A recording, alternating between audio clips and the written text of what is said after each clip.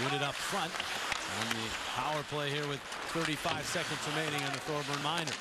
Couturier behind the net. Pushes it to Schenn. Schenn to Jagr. Jagr out to Matt Carle. Carle having a look. That's headed in for redirected by Schenn. Stayed out. Now they dig away. It's in. They score. Brayden Schenn kept hammering away. Eventually it found its way in and the Flyers lead 1 0. A power play goal. Brayden Schenn scores for a case of Tastykake.